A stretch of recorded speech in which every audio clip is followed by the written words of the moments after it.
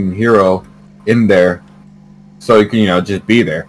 I wasn't even expecting this MF to attack, but when he did, he moved. I don't know why he just moved over to me.